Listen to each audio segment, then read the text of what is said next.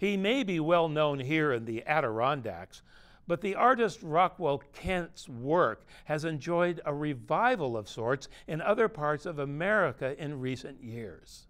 His paintings and illustrations are being showcased in two exhibitions that are running right now one along the coast of Maine, and the other closer to home in northern New York at St. Lawrence University in Canton. Now, that show, titled The Once Most Popular American Artist, is curated by Rockwell Kent scholar Scott Ferris, who has spent more than 30 years researching and lecturing about all things Kent. Celebrating Rockwell Kent is celebrating our interest in our uh, Americanism and celebrating the diversity in art from high to low or vice versa. Um, he is a, a, master of black and white.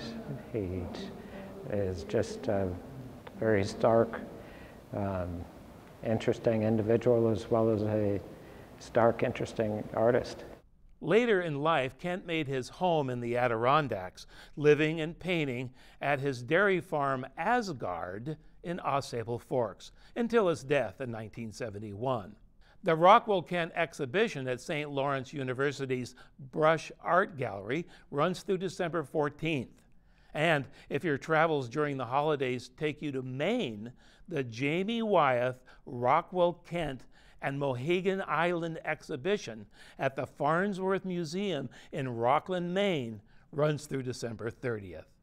And of course, we've got our own Kent collection right here in Plattsburgh at the Rockwell Kent Gallery at the Plattsburgh State Art Museum.